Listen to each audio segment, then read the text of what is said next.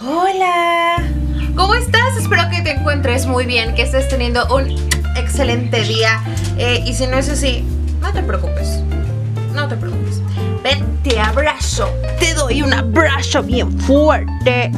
Y Date la casualidad que he estado guardando todas mis buenas vibras, las he estado limpiando muy bien. Te las voy a guardar en una bolsita para ahorita mismo mandártelas y que tu día vaya estando muchísimo mejor. Y Besti, si tú ya manejabas las buenas vibras y solo viniste a vibrar alto conmigo, pues te lo agradezco. Gracias por darle click a este video. Oye, pues qué te digo, eh, me ausenté otra semana, perdón. No era mi intención, fueron cosas que salieron de mis manos. Esta vez no fue porque no alcancé a hacer nada. Fueron como que fallas técnicas de YouTube. Yo no.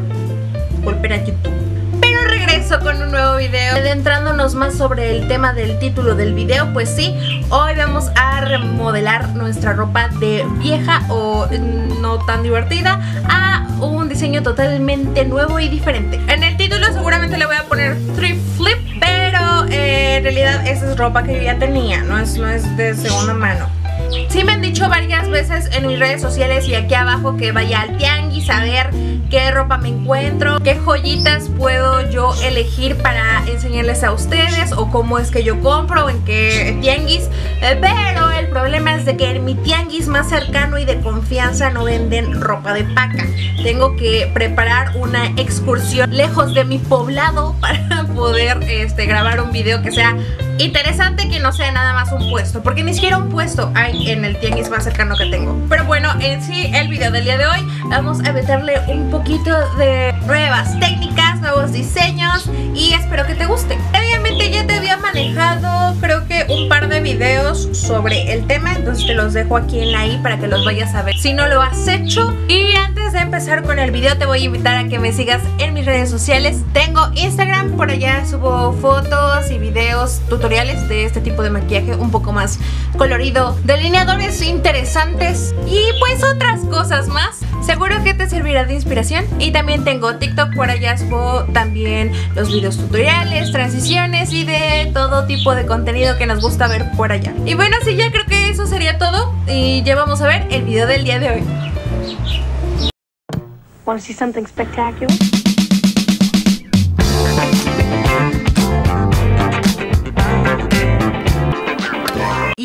Empezamos para este primer proyecto Voy a ocupar. Una playera de color Está en verde. Depende de nuestros gustos Puede ser azul, roja, eh, naranja Del color que tú quieras.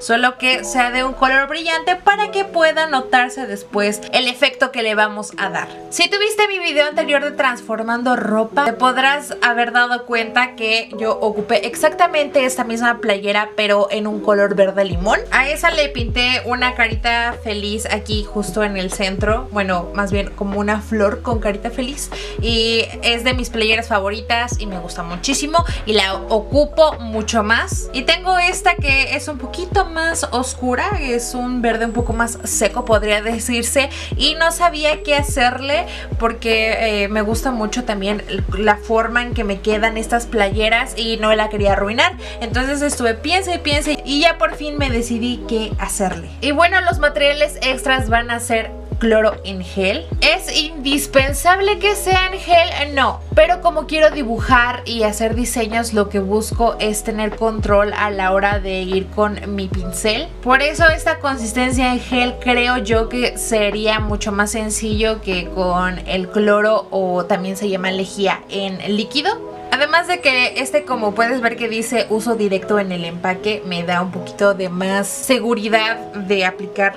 en la prenda este lo puedes encontrar en supermercados si eres de México. Por alguna razón en estas fechas están en oferta. Me costó 10 pesitos. 600 mililitros. No sé por qué eh, es tan barato. Por aquí te voy a mostrarla. Prueba de que me salió muy barato. También vamos a ocupar pinceles, es importante que ocupemos de nylon o acrílico, como aquí dice, porque no queremos echar a perder algún tipo de pincel que tengamos que sea bueno, como de cerdas naturales ni nada de eso. Entonces, como estos que nos pueden dar precisión, pero también no son de una calidad premium, están perfectos. Estos me costaron 26 pesos, creo, en la tienda parisina. Que para los que no son de México es una tienda donde venden telas y materiales pues artísticos y así. Y también vamos a ocupar periódico o papel para poner entre la tela por si se quiere pasar para el otro lado. No queremos eso. Y pues ya hablando del diseño, yo esperaba o me imaginaba hacer algo así como líneas irregulares, hubiera algo parecido a esto, pero no sé si llegara a dar el estilo que yo quiero, puesto que yo creo que van a dar nada más dos colores. No sé de qué color vaya a deslavar. Eh, puede ser que sea blanco o naranja, cualquiera de los dos.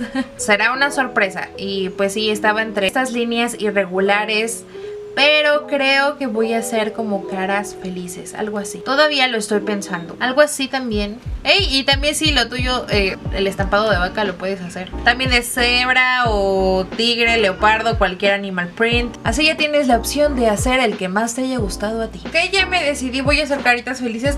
Le voy a poner el papel entre la tela para que no se vaya a echar a perder.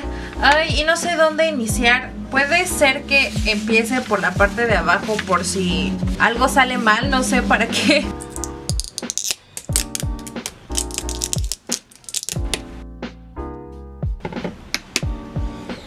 El pincel que voy a ocupar es de la penúltima medida más grande. Como vemos la consistencia sí es en gel. y vamos a empezar a pintar. Creo que al principio no se va a ver mucho, pero mientras que vaya pasando el tiempo, espero que se vea la decoloración.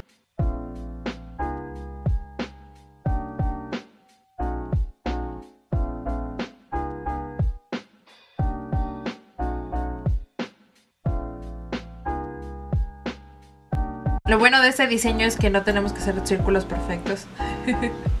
Por si a ti la perfección no se te da y de hecho hacer una carita feliz que parece más papa que carita feliz me duele, pero eh, espero que se vea bien el final. Trust the process. Trust the process.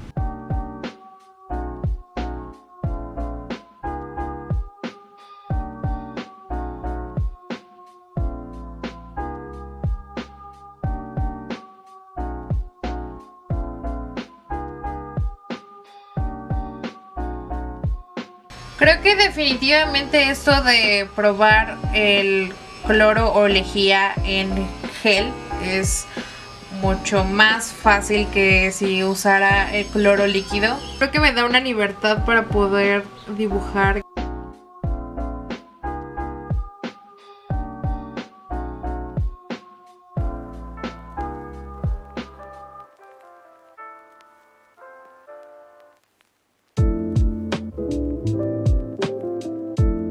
cosas que les puedo decir que aprendí. Eh, creo que sí vale la pena poner esto porque de repente si nos pasamos un poquito de cantidad puede ser que hay unas gotas que este, mojen el papel abajo y si no lo ponemos puede caer hacia el otro lado, hacia la tela de atrás. Uy. Y también que no nos confiemos de más, puede ser que haya unas pequeñas gotitas que eh, brinquen si de repente empezamos ah", porque sentimos mucha libertad. Y sobre qué estoy haciendo, pues es muy intuitivo, podría decirse. No tienes como que una plantilla en sí, es de ver un espacio y ahí hacer una forma, un círculo. Más bien un círculo si se estuviera derritiendo por el calor. De repente podemos ver como forma de papa, forma de frijol, forma de de, no sé, de globo desinflándose. Ahí también procuro que las caritas vayan dando a diferentes direcciones.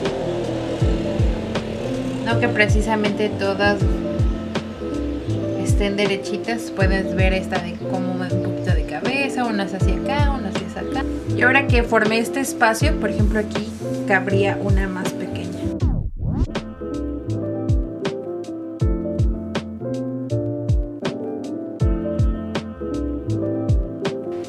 De admitir que eso de no ser perfeccionista me está gustando.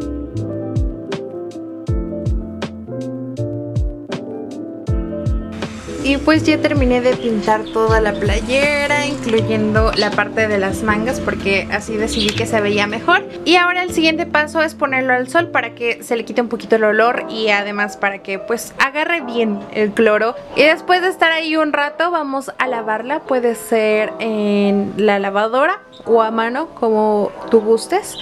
Y también es muy importante que al menos las próximas dos lavadas sea por separado del resto de la ropa para prevenir cualquier cosa que pueda afectar este, alguna otra prenda.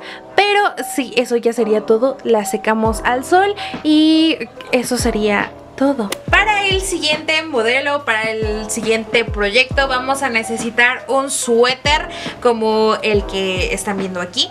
Para este en específico nos vamos a inspirar en un suéter que ya existe. Voy a dejar aquí la foto o las fotos a continuación. Y esta es de una marca que se llama Lirica Tom, Tomatoshi. Lirica Matoshi. Lirica Tomatoshi. No sé muy bien cómo se pronuncia sí, eso. lo estás pronunciando mal. Pero uh, esta marca es famosa por el vestido de las fresas. Estuvo muy en tendencia los últimos meses en TikTok y en redes sociales en general. Y es muy hermoso y me gusta. Y en esa tienda también estuvieron vendiendo ese suéter con cerezas que me encanta muchísimo. Está tejido a mano y es muy carísimo. y pues no sé ustedes, pero a lo mejor para un vestido pagar que dices 15 mil pesos, dices, ah, pues, pero, no sé, lo voy a usar en un momento muy especial en mi vida, a lo mejor puedo hacer el gasto. Pero en un suéter sí, yo ya dije, no, no.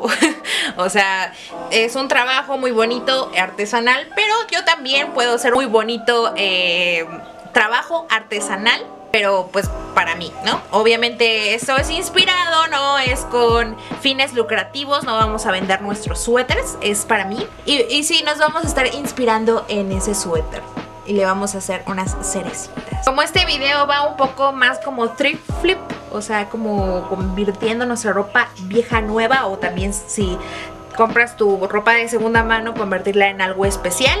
Ya tenemos un suéter hecho, ya no lo vamos a tejer si tú gustas, puedes tejer un suéter desde el principio, pero yo no quiero. de por sí este suéter me gusta por su color de todos modos y pues lo vamos a embellecer un poquito más. Y para hacer las cerecitas, los materiales van a ser los siguientes. Meli, Espérenme un segundo. llegó el correo. Ah. Aparentemente amigos ya llegó el correo. Esto ya se convirtió en un episodio de las pistas de Blue.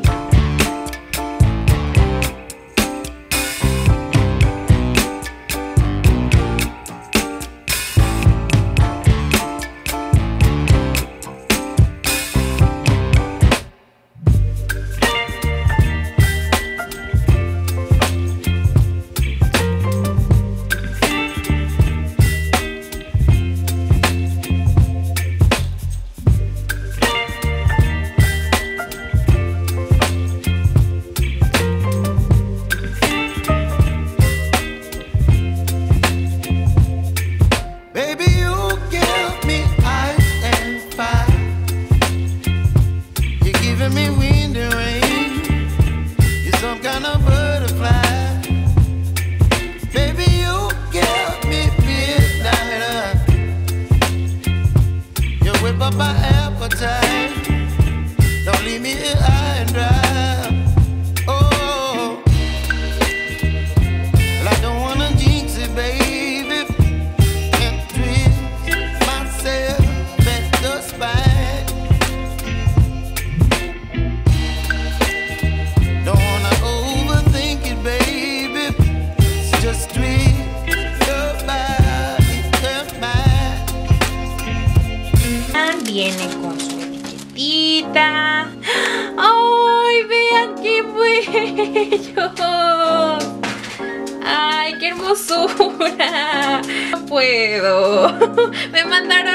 anillito de. ¿Cómo se llama? Arcilla. ¡Ay, qué bello! Y a las botas se le ponen la bolsita así. Vean el detalle. Es una serpiente. Me encanta porque me recuerda como a Taylor Swift y a su disco de Reputation. Me encanta la suela, se siente súper duradera. Vean las etiquetas, me encantaron los zapatos cómodos y la libertad de irse son las dos cosas más importantes en la vida. Aldonza. Creo que son stickers. Los voy a ocupar. Y el anillo me dio mucha emoción. y bueno, aquí está un poco más de cerca para que vean el detalle. Están súper bien hechos y algo que me gusta es de que manejan no solamente de este estilo que es un poco punky, también de muchos diferentes. Hay algo eh, muy importante que se me olvidó mencionarles, es que mensualmente hacen sorteos en la página con cupones de descuento o incluso pares gratis con tu compra. Como vemos desde ahorita se ven de muy buena calidad perfectamente les cabe su mazapán aquí, unas cuantas picafresas. Y pues me los voy a probar, les voy a armar unos ovnis, ¿por qué no? Pero por mientras vamos a seguir con el video. Seguimos viendo los materiales, por eso el primero, el suéter que ya les había comentado. Para hacer las bonitas cerezas vamos a necesitar estambre en color verde, este lo compré en la tienda parisina. Este es tipo cristal, así se le llama. Y también vamos a ocupar pompones en color rojo. Estos también son de la marca parisina. Las cerezas del suéter original son totalmente hechas a crochet. Estos no los podemos echar a la lavadora porque se pueden echar a perder, no están diseñados para la ropa. Pero la verdad es que creo que tengo planeado las cerezas darlas al suéter por medio de seguritos, de, o sea que sean quitapón. No exactamente era mi plan coserlos directamente, pero este es un dato que tal vez quisiera saber si es que tú quieres que las cerezas queden ahí para siempre. Y ahora también, por ejemplo, si todavía tú quieres evitarte hacer la parte de tejer, puedes comprar cordón mucho más grueso que esto. Como digo puede ser un cordón o eh, cola de rata en color verde o también este hilo chino pero del grueso también creo que se le conoce. Y este pues nada más pegarlo y como que hacerle un nudito y ponerlos todos en el suéter pero como sabemos yo tengo una mamá que sabe tejer y ella es la que nos va a enseñar cómo hacer estas cerezas. Yo les iba a explicar pero la verdad es que creo que ella explica mejor. En cuanto de estas cosas de tejer se trata primero vamos a explicar qué es una cadena. Se van a hacer 10 cadenitas en cada cereza.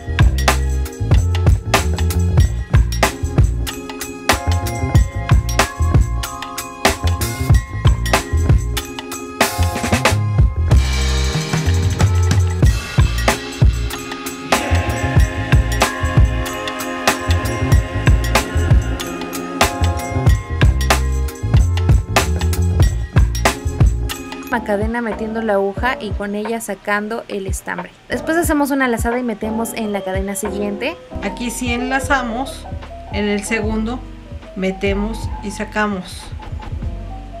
Aquí hay tres hilitos en el estambre, en el gancho. Lo metemos y lo sacamos. Vamos a hacer la hoja únicamente de los cinco puntos que nos quedaron. Y así seguimos por los siguientes cinco puntos. Lo que están viendo es la mitad de una hoja. Después nos vamos a regresar y así es como lo vamos a formar. Solamente la parte del inicio y final son los que no llevan lazada para que se vean más en punta. El último nada más es meter y sacar como el primero. para que se haga la forma Sin de lazada. la hoja, sin lazada. Sí. Entonces aquí sin lazada otra vez, metemos y sacamos. Ahorita sí hacemos lazado. Y ahora estamos regresando por los mismos cinco puntos. Es la otra mitad de la hoja. y así se hace el medio punto. Eso es para que se formen las hojas. Ya se formó la hoja. ¿Ya viste? Luego que te regresas. Me regreso. Justo por la parte del medio. Es como ir hilando para llegar a el otro extremo. Ahí está la una hojita. Entonces aquí hacemos cinco cadenitas otra vez Para hacer otra hojita. para hacer otra hojita. Y como no lo imaginamos, la otra hoja es exactamente igual. Primero hacemos unos 5 puntos, después hacemos una primera mitad de la hoja, la otra mitad y nos regresamos por la parte de en medio para poder seguir con el tallo de la cereza, el siguiente tallo, que serían con otras 10 cadenas. Perforamos otra vez el pompón con la ayuda de la aguja tomamos el estambre y lo traemos para sacarlo y de así poder hacer un nudo. Pero son muy fáciles, muy muy fáciles. Nada más es formar la hojita y hacer las, las cadenitas. Y bueno, ya ahorita ya las voy a acomodar para atarlas al suéter. No las voy a coser como les había platicado hace rato, pero sí voy a hacerlo con... Tú me recomendaste este seguritos, ¿no? Los seguritos para que los puedes quitar y poner. Aquí tengo los seguros y voy a empezar a acomodar yo creo que primero. Hablando de cómo acomodé, me estuve guiando con el suéter original que fue empezando con dos cerezas en los hombros, por el área de los hombros, pero un poquito más abajo, y después una en medio y así yéndome como en cruz, podría decirse, dos en los lados, una en medio, dos en los lados, una en medio, yéndome hacia abajo y después a completé, ahorita verán en los costados de por donde van las costillas y en las mangas.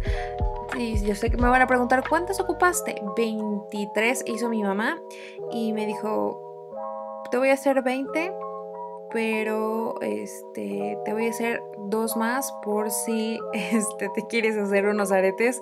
Y de hecho, eh, la que explicó fue la 23. O sea que exactamente fueron las que ocupé 21 y mis aretes.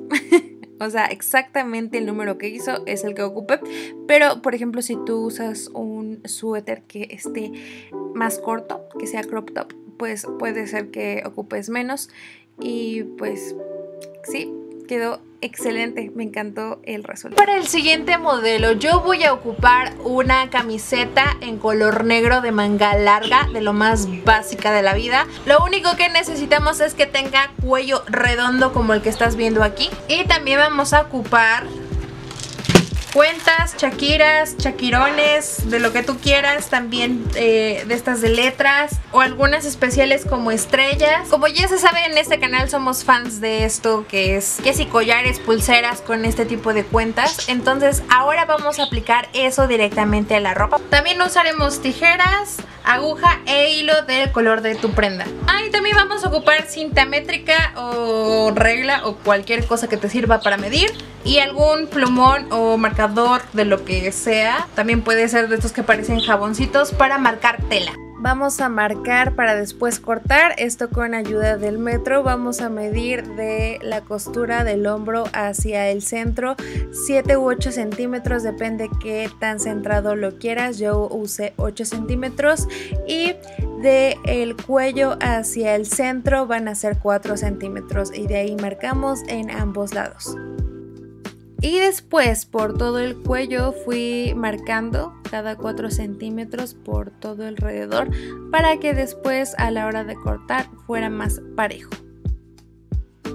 Y ahora sí vamos a cortar. Lo vamos a hacer primero haciendo un hoyito y yendo cortando poco a poco por la línea punteada que acabamos de marcar. Y no vamos a cortar solamente una vez, no, no, no es así. Vamos a cortar dos veces, como que...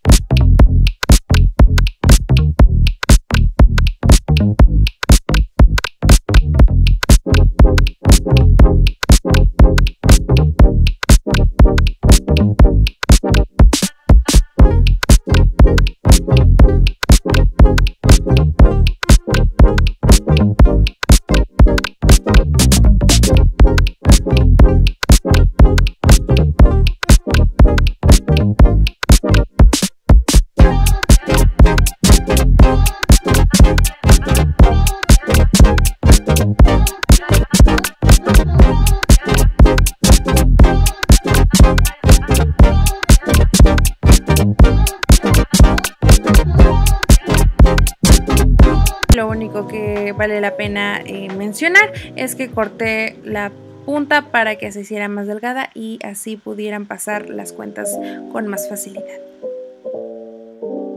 No voy a cortar todavía, voy a poner esta parte aquí atrás y voy a coser de esta manera.